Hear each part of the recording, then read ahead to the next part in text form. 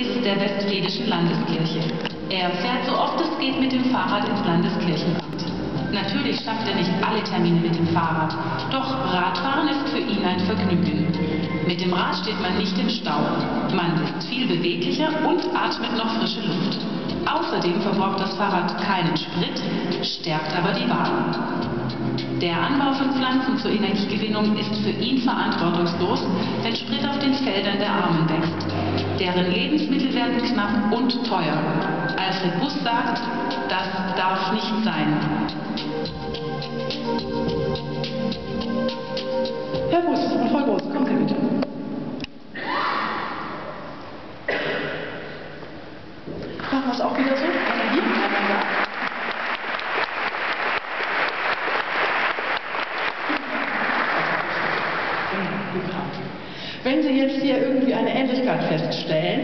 Dann ist die gewollt. Die beiden sind nämlich verwandt miteinander, Vater und Tochter. Das haben wir heute gemeinsam eingeladen. Was hat das, was wir da eben gesehen haben, mit uns direkt zu tun? Wie können wir damit umgehen? Tja, wir essen gerne Fleisch hierzulande oder auch viel. Wir müssen uns klar machen, das Fleisch wächst nicht auf Bäumen, ist auch nicht einfach, dass es von unserem Vieh in dem Sinne stammt, dass sie von Nahrungsmitteln ernährt würden, die hier angebaut wurden. Sie bekommen Kraftfutter, eben aus Argentinien zum Beispiel. Wir fahren nach Argentinien und erleben genau dies aus den Feldern wächst Soja. Die Hälfte der Hungernden, die Ministerin Schwalbüren genannt hat, sind Bauern in der Welt. Die Hälfte sind Bauern von ihrem Land vertrieben. Das andere ist äh, unsere Mobilität. Ich habe mal in den 90er Jahren gern Biodiesel gefahren, dachte, damit bist du ganz fortschrittlich. Äh, war ja damals noch nicht ganz falsch, aber wenn das plötzlich im großen Stil so läuft, dass wir die Menschen enteignen, dass sie ihre Lebensmittel nicht mehr bekommen, gerade die Ärmsten, dann stimmt was nicht mehr. Also unser Lebensstil geht auf Kosten der Ärmsten, so einfach kann man sagen, und dies noch in Zeiten der Klimakatastrophe äh, wo der längst losgegangen ist, der Kampf um Wasser und um Boden weltweit. Das Wasser, das hat mich übrigens auch ganz kalt erwischt. Ich habe auch Biodiesel getankt und habe gedacht, boah, jetzt tue ich was richtig Gutes. Und als dann irgendwann äh, die ersten Zusammenhänge klar wurden, also auch ganz normalen Menschen, solchen wie wir, dann kriegt man ein bisschen anderes Gefühl dabei. Ne? Und haben Sie ja ähm, als Präses eine Vorbildfunktion. Und das ist ja auch, ich glaube auch, dass das aus Ihrem Herzen kommt. Also ich unterstütze auch. Aber das ist ja natürlich auch eine Frage der Funktion. Das macht es ja schwierig, kann ich mir vorstellen, für die Familie daheim. Also mal eben so mit Familie zu McDonald's oder Burger King. Ging das? Haben wir nie gemacht, nein. Das gab es bei uns nicht. Weil er diese Haltung hat oder warum? Ja, nicht nur mein Vater, meine Mutter ganz genauso. Also das wurde, war von klein auf immer uns klar. McDonalds ist etwas, wo wir nicht hingehen. Das hat unterschiedliche Gründe.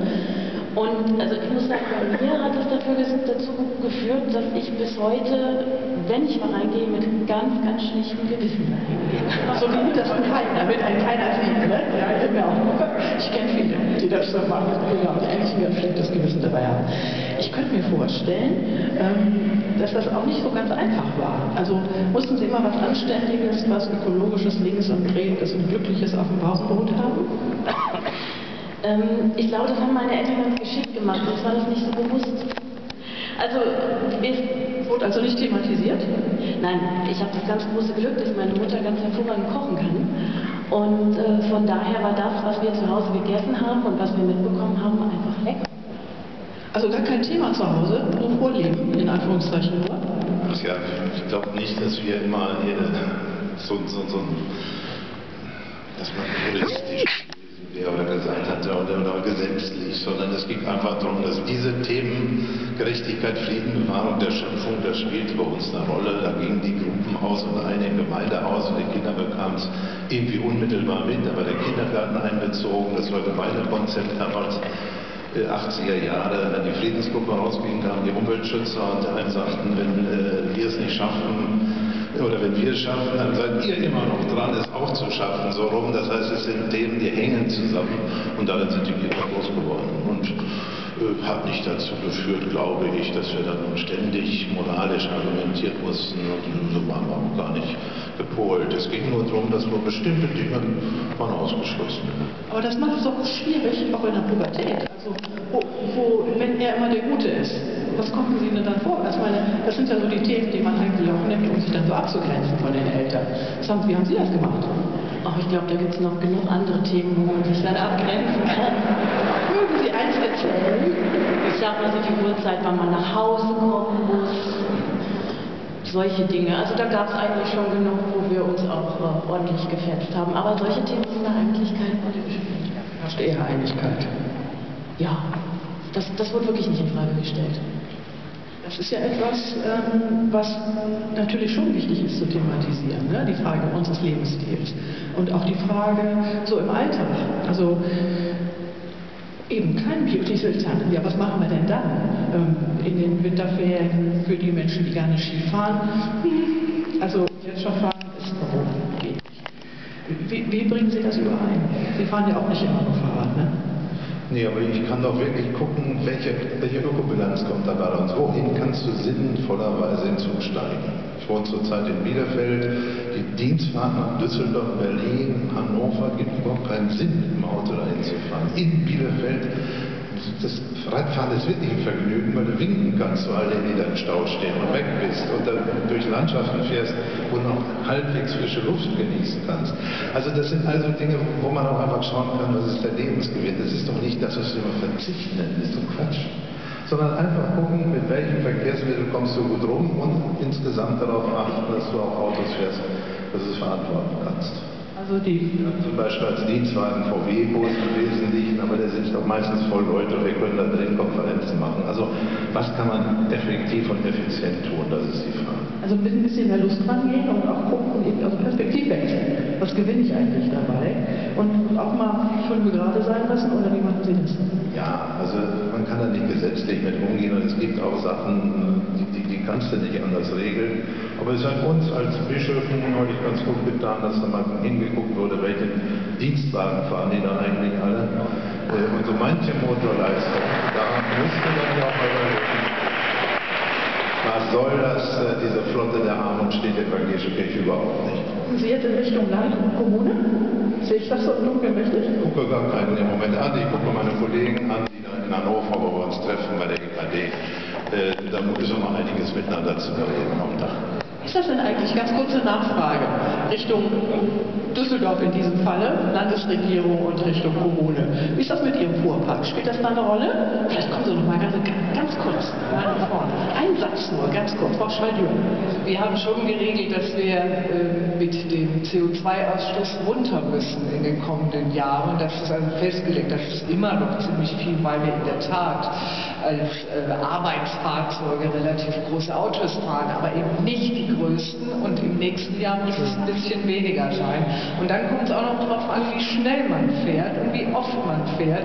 Ich habe mir eine Wohnung in Düsseldorf genommen, damit ich eben nicht immer ins Münsterland fahre äh, mit dem Auto und wo es geht, nehme ich den Zug. Ganz genauso. Sie haben genauso Gelegenheit wie alle anderen hier nachher, um Ihren eigenen ökologischen Footprint, also den Fußabdruck, mal, mal so nachzugucken, was Sie denn eigentlich hinterlassen. Sie müssen natürlich auch noch einen Satz dazu sagen. Fahrrad oder doch Dienstwagen? Also ich bin äh, begeisterter Fahrradfahrer, ich kenne das alles, was der Bus gesagt hat. Äh, ich bin auch Schirmer der Aktion mit dem Rad zur Arbeit.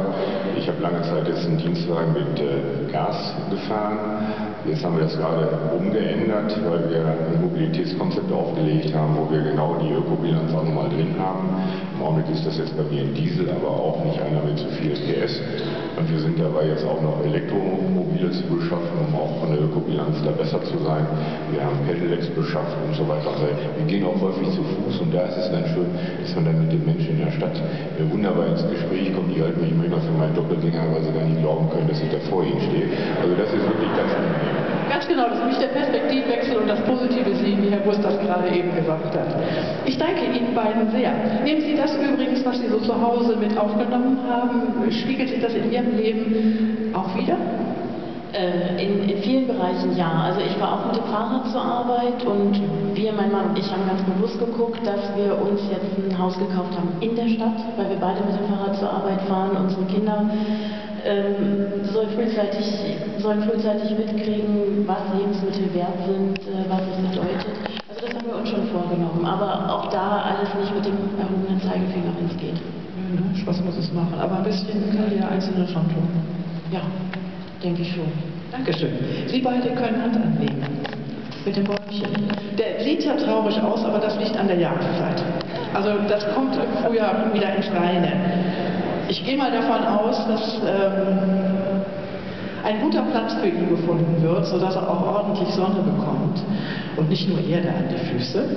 Denn äh, je nachdem, wie man ihn behandelt, wird er natürlich auch wachsen. Dankeschön, es wächst, das Bäumchen. Vielen Dank.